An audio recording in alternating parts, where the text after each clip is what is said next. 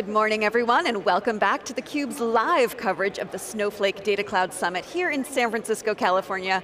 I'm your host, Rebecca Knight, alongside my co-host and analyst, Dave Vellante. It's the last day of the conference, it's Developer Day, but this show floor, you wouldn't know it. it oh, it's, it's busy, it's packed. You know, the great thing about our industry is it's always changing, so there's always something new to report on, and that's because startups innovate, and there's constant funding into new startups, and they just come up with new ideas and do things faster than well, we're, we're about to, to talk to a, to a startup founder. So, so here we go. I'd like to introduce our next guest, Sarah Nagy. She is the founder and CEO of Seek AI, direct from New York City. Thank you so much for coming on the show, Sarah. It's great to be here. Thank you guys so much for having me. Uh, so talk a little bit about AI and, and why you founded the company. What, what was the problem that you saw that needed to be solved?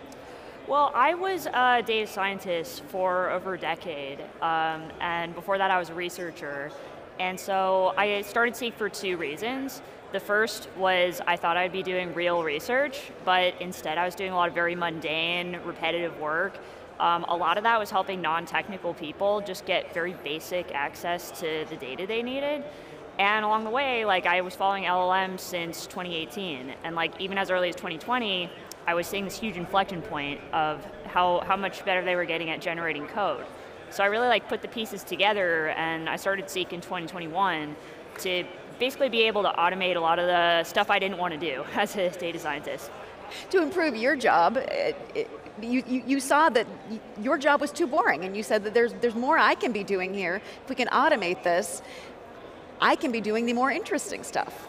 Exactly, yeah, and like in the era of LLMs, uh, I think probably a lot of people, you know, people that work with data are so smart they don't want to be doing like repetitive work or you know things that aren't interesting to them. They want to be doing real research and you know, I think AI is really going to free them up to be able to do this kind of work. So how did you tap LLMs in 2018?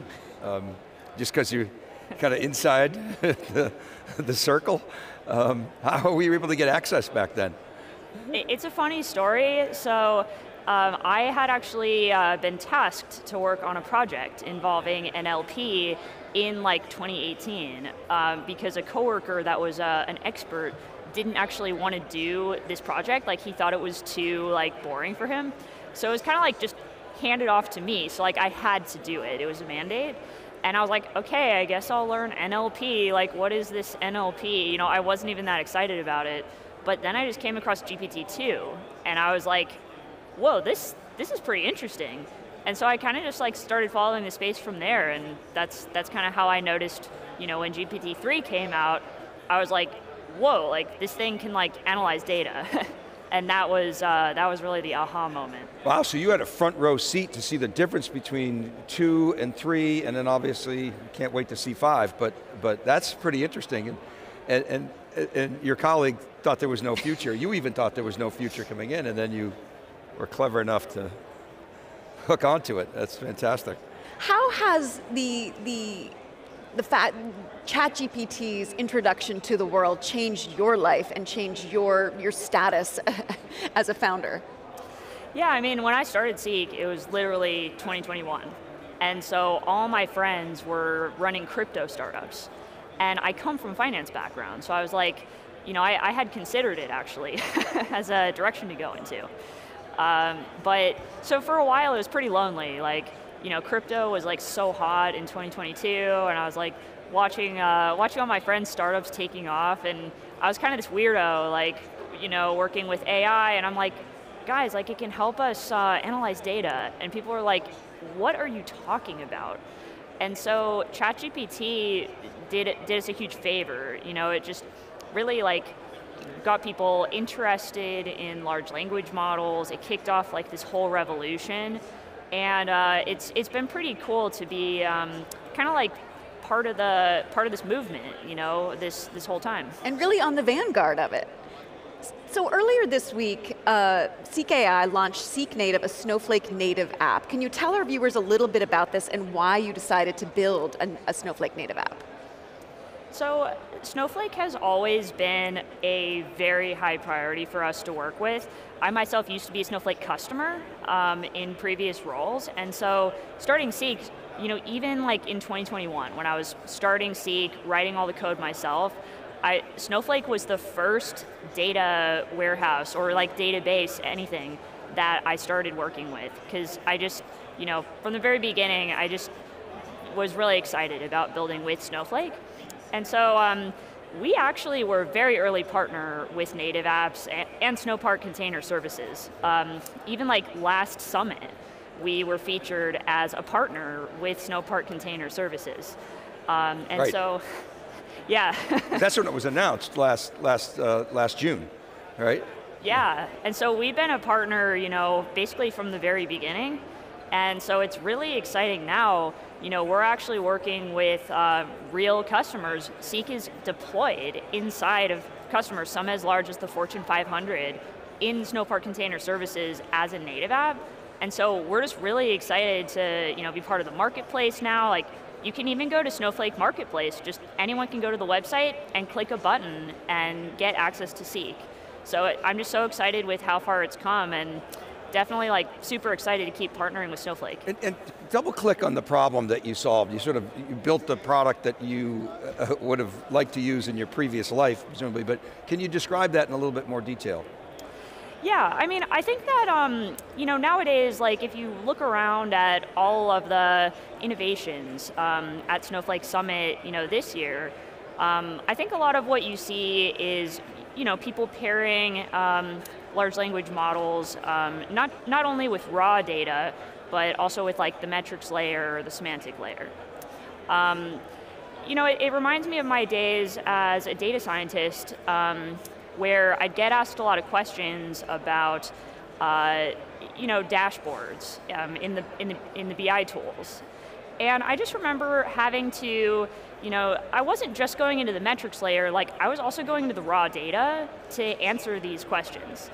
And so um, it's, it's really interesting uh, to, you know, see people building with, um, you know, the semantic layer, but uh, I also think considering, you know, how the raw data fits into it is interesting. And so that's kind of uh, how we started and probably like the innovations will continue to add um, into the space. So okay, so you're going deeper into the to the raw data, but then you, like you say, you get a lot of questions on dashboards and, and BI. I mean, ultimately, that raw data has to be harmonized and has to serve all those different yeah. dashboards, and you want it to be consistent. At least you want billings to mean the same thing in every BI tool.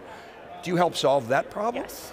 oh, let's talk more, because that's a really hard problem yeah. to solve and a really important problem to solve.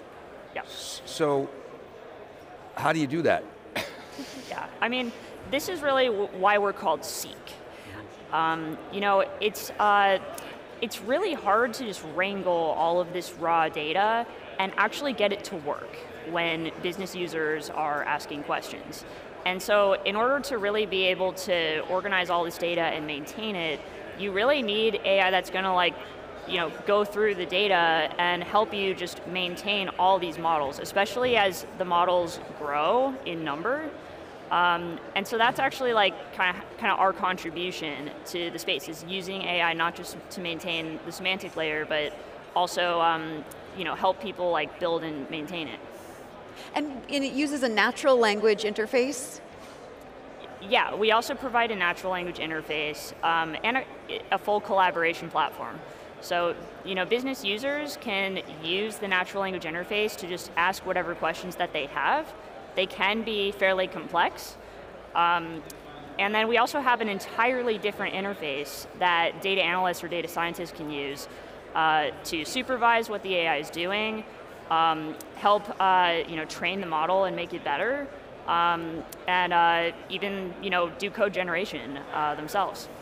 Do you feel, okay, so there's a lot of discussion about maybe Snowflake should be building a semantic layer, but then yeah. the flip side of that is that specialized startups like, like yourself or even the metrics players are going to be better at applying AI, you know, because that's all you do.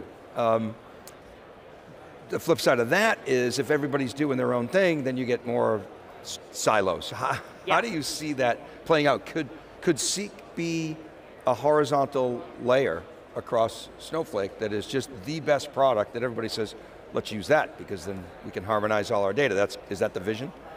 That's totally the vision. Like, you know, we see ourselves as uh, par a partner to all the players in the semantic layer space.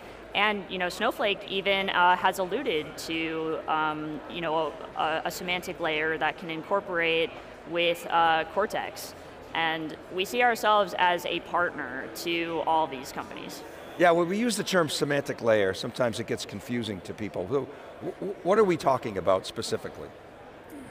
Well, it's basically, it's, it's really interesting how it came to be.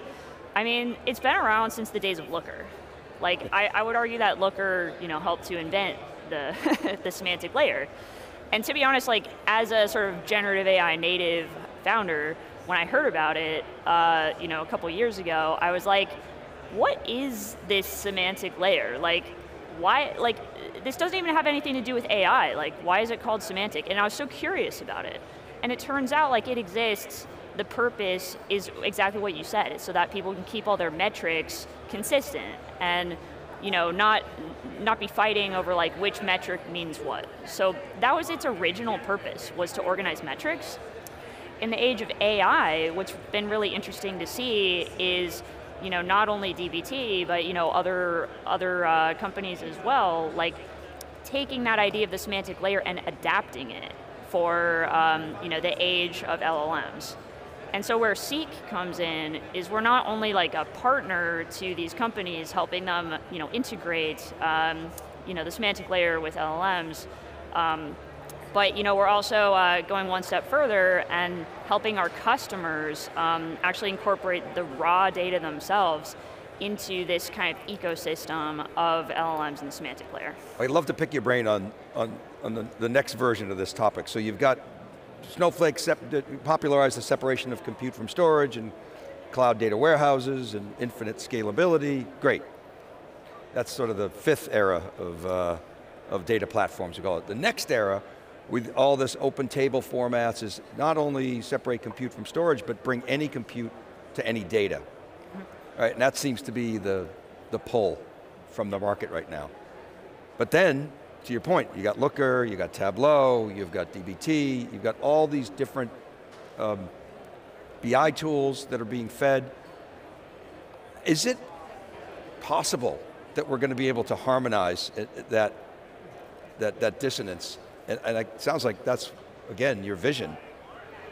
Yeah, I mean, uh, that's also part of why we're you know, so focused on partnering with Snowflake in particular. I've always been really impressed by the way that they work with partners and like just this whole ecosystem that they've created. You know, they, they, they basically invented the modern data stack. Um, sure. And so I don't necessarily think, you know, I don't, I don't know if there's going to be like consolidation, if, if that's kind of what you're, you're you know, alluding to.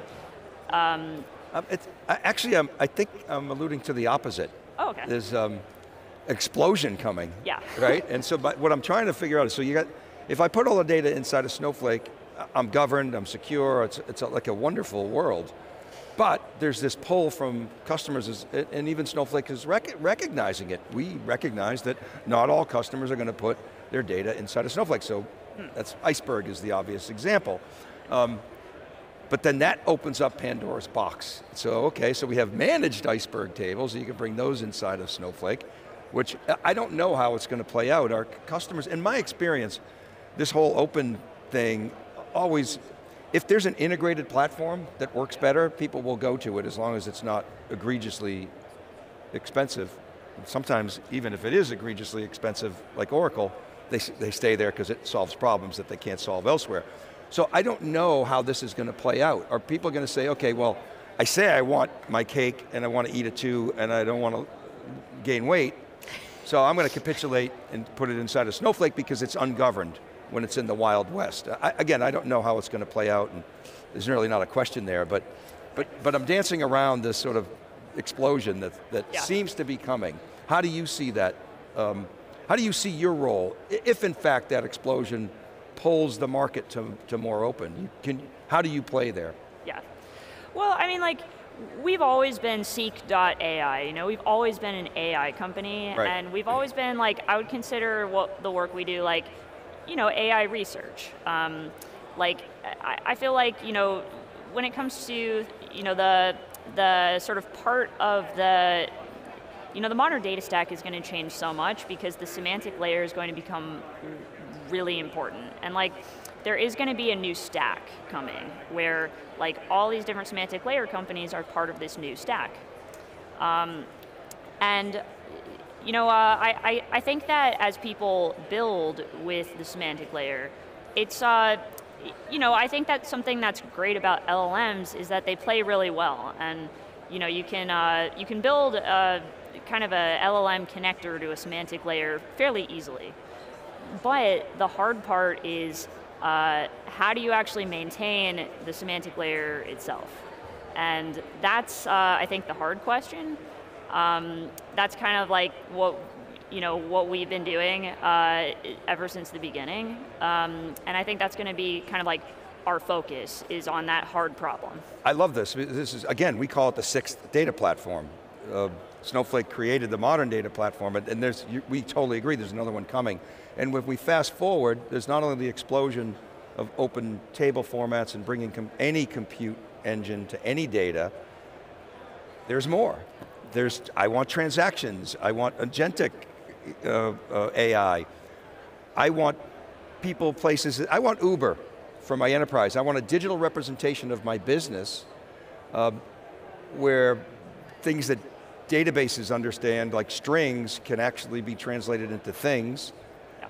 And, and that's where, in part, you, you come in, isn't it?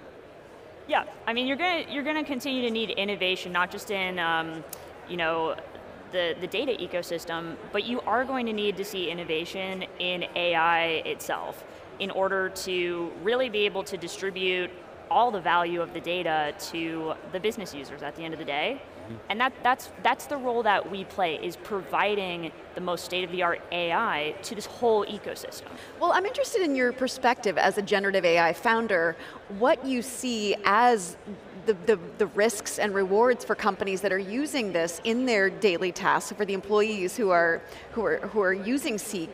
And we have on one hand Warren Buffett saying that AI scares the hell out of him, and, and then we have, you know, we're here obviously at a tech conference where you feel the energy and excitement, and there's a lot of evangelists around here. What, what are, what are a more measured approach? How do you see things? Like how do I see the risks and rewards of AI? Yeah, just in terms of your vision for the future of work. I mean, the thing that I've always been excited about is structured data. Um, it's, uh, you know, I think we've seen like so much innovation this summit when it comes to just the intersection of AI and structured data, but this is just the tip of the iceberg, so to speak.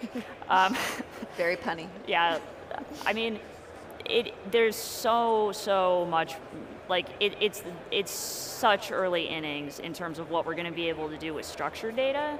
Um, and so I'm just really excited about that. Um, I think like, you know, a year from now, we're, we're going to see a lot of advancements there. Well, what about the, the, the, the blending of structured and so that's why we yeah. use Uber as the example. You're a, a customer, you call, or, or, you got drivers, riders, ETAs, uh, uh, geolocation, you've got pricing, all these different data elements that Uber had to write a semantic layer to make them all coherent and it is that digital representation of the physical world and, and the digital world coming together. That's really exciting um, and kind of game changing when you think of Industry 4.0, uh, other new applications. Where do you fit in that? You're right in the heart of, of, of all of that. You're an enabler to that.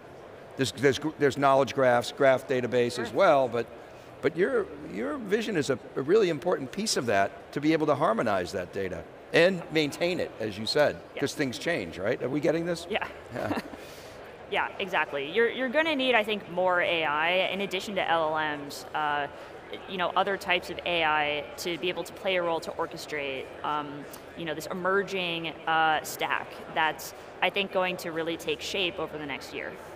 Do you have a, a point of view on agentic AI? Yeah, Oh, I mean, how do you how do you think how do you have do you, how do you define that and how do you think about its evolution? Yeah, I mean, you could consider Seek an agent in some ways in that it's you know it's not just generating uh, output from an LLM, but it's also taking sequential actions and not only that, but learning from you know these this series of sequential steps. Um, that, that's how I would defi- define an agent. It's not just something that can, you know, tell you something. It's something that can also take actions. Um, well, querying data is taking an action, and so agents are a very important part of, you know, querying both structured and unstructured data. And knowing, knowing which data to query. Yeah. Um, yeah, that's the information retrieval uh, piece of it. And, and of course, having the plumbing, being able to, to query different data types, unstructured, structured, different storage formats. Wow. You've given Dave a lot to you think got a lot about, of work Sarah. to do here. Sarah, thank you so much for coming on theCUBE, a really fascinating conversation. Yeah, thank you guys so much, appreciate it. I'm Rebecca Knight for Dave Vellante. Stay tuned for more of theCUBE's live coverage of the Snowflake Data Cloud Summit. You're watching theCUBE, the leader in enterprise tech news and analysis.